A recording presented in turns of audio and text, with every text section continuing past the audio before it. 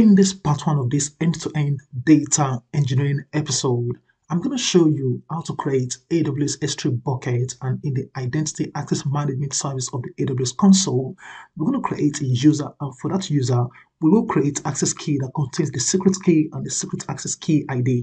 Then I'm going to show you how we can use the Databricks CLI to securely store the AWS credentials without exposing any important credentials in the Databricks notebook when performing data processing. This is what's expected in the production environment. So let's get started. This is console.aws.amazon.com. So we can see that my service is provisioned in the EU North 1 region. So we're going to go ahead and create our S3 bucket. Now for the first time, you can always come to the search menu and search for S3 and then under the services, we have this S3. Just click on that and it's going to take you to the same page again this page so we can go on and create a bucket now this is similar to storage account in microsoft azure but this is optimized for aws services so i'm going to click on create bucket and is going to take me to the create bucket page and under the general configuration we can choose the bucket type the general purpose or the directory. Now, this is recommended for most use cases and access patterns. So I'm going to stick with this default bucket type. And then for the bucket name, I'm going to use this Cornerstone Analytics 1. This should be unique and globally available for you to use. So this is fine. And I'm going to forget about this copy setting from an existing bucket because we are not doing that. We are creating a brand new bucket. And then I'm going to move to the object ownership. I'm going to stick with this default ACL disabled and then I'm going to come to the very important one, the block public access settings for this bucket. Now we want to access this bucket later on in the Microsoft Databricks. So I'm going to make sure that the block all public access is turned off because we won't actually access this outside the AWS environment. So we're going to see this warning, turning off block all public access might result in this bucket and the object within becoming public. So I'm going to click on I acknowledge that the current settings might result in this bucket and the object within becoming public, which is absolutely fine. So I'm going to forget about this bucket versioning and then I'm going to scroll down at the bottom and click on create buckets.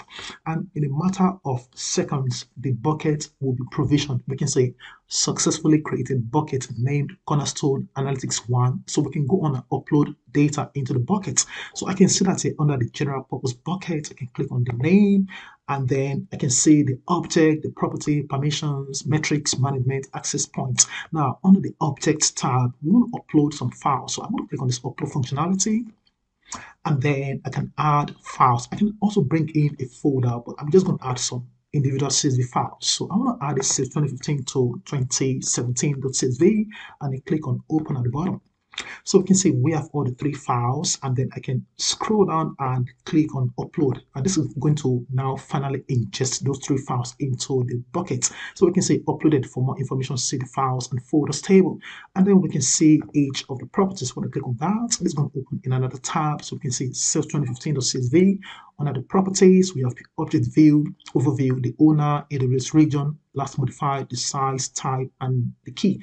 And we have all of these details. That's sorted. Now we want to go ahead and create a user in the IAM. So I'm going to come here and type in IAM and click on that. So that is the identity and access management environment. So under the access management, I'm going to click on users. And then we want to create a brand new user that we can use to generate our secret the access key and the access key ID. So I'm going to call this one, let me just call this one Abiola David. You can use whatever name you like. And then I'm going to forget about this provide user access to the AWS console. So click on next. So for the permissions option, so we have this add user to group copy permissions or attach policies directly. So I'm going to attach policy directly so we can see this is a best practice. So we recommend attaching policy to a group or instead then add the user to the appropriate group. And I'm going to scroll a little bit and just pick some of the policy that are needed for this exercise. So I'm just going to click up to this first five and I'm going to scroll down the bottom, click on next. So we can see the user details, the name of the user, the console password type. This is not required password reset. This is fine. So I'm going to click on create user.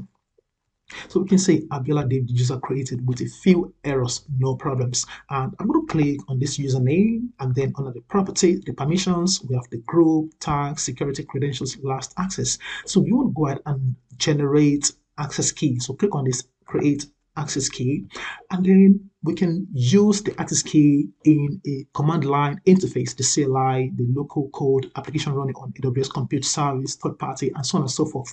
So I'm going to stick with this command line. You plan to use or you plan to use this access key to enable the AWS CLI to access your AWS. So this is fine because I'm going to be using that with the Databricks CLI later on. And I'm going to click on I understand the above and proceed. Click on next.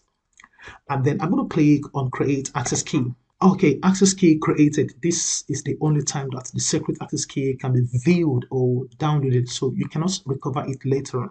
So what I'm going to do is to just download it to my laptop. So I'm going to use the download.csv at the bottom and there we go. So we have the access key downloaded, which is absolutely cool. So we are done in this Amazon environment. Now we want to go ahead and install Databricks CLI, which allows us to interact with Databricks platform, facilitating tasks such as managing clusters, jobs, notebook, and other resources directly from our terminal or our command line. So I'm going to just open my CMD here and then press enter.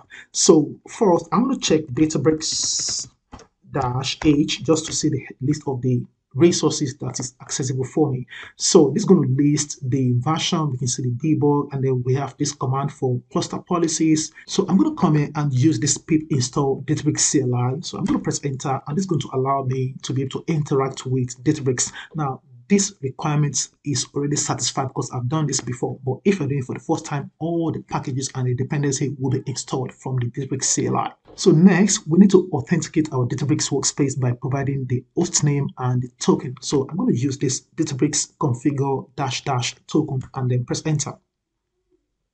So this is going to require me to provide my Databricks host name, which must start with HTTPS colon forward slash forward slash. So I'm going to come here and I've got this open already and I've got a cluster which is up and running. Or let me just turn this on quickly. The cluster is now up and running. Now I'm going to fetch my host name, which is part of the URL. So I'm going to come here, everything to the left up to this dot .NET, that is the host name. So I'm going to control C and then I'm going to come back to this environment and press Ctrl V to paste and press enter.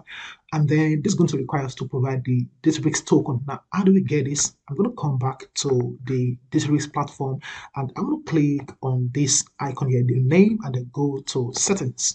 In the settings, you need to go to under your user, click on developer, and then we have the access token. So this is going to allow us to set up our secure authentication to Databricks API using the access token. So click on manage and then I'm going to just generate a new token and I'm going to call this on my Databricks nail CLI token. You can use whatever name and I'm just going to allow this to be up to two days that is the lifetime and click on generate.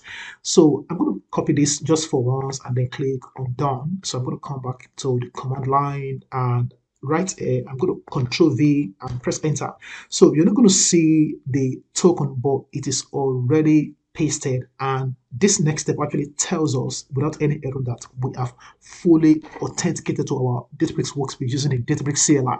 So I'm going to go ahead and list all the scope in the Databricks workspace.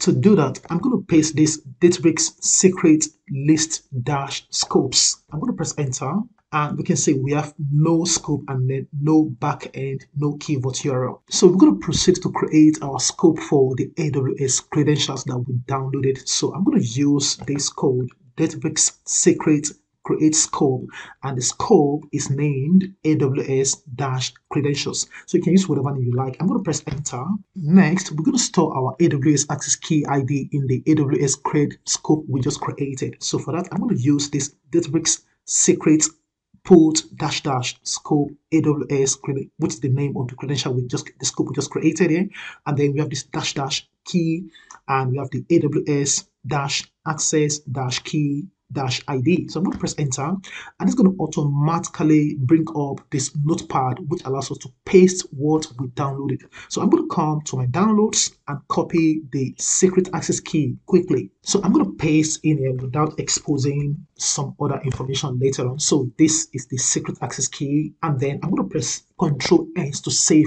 which is really important and then click on this close. So that's done. Now we're going to go ahead and also store our AWS secret key in the AWS cred scope we just created. And for that, I'm going to use this Databricks secret put dash dash scope and it's going to be within the AWS scope we created and then we have this dash dash key and this is going to be AWS dash secret dash access dash key and I'm going to press enter and again this is going to also bring up that notebook that we can or notepad that we can easily paste that access key so I'm going to press Control V to paste and then I'm going to press Control S to save. So I'm going to close the notepad and this is now sorted. So we're going to go ahead and list the secret in the AWS credential for verification whether these are actually created or not. And for that, I'm going to use this Databricks secret list dash dash scope and we want to see all the information in the AWS dash credential. I'm going to press enter amazing. So we can see we have the key name AWS dash access key ID, and then we have the last updated, and then we also have the AWS secret access key. So these are fully registered in the Databricks scope, which is absolutely cool. So this simply means we have now successfully stored all our credentials in the Databricks scope and we can proceed to retrieve them in the Databricks notebook to perform our data processing without exposing any important information.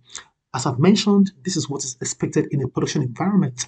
So in the next video, I'm going to show you how we can retrieve all of this information and then use them to perform our data processing and create our dashboard on top of the data that's coming from our AWS bucket. So I'm going to see you in the next video. Thank you for watching and please make sure you subscribe to this channel for more content. See you in a moment. Bye for now.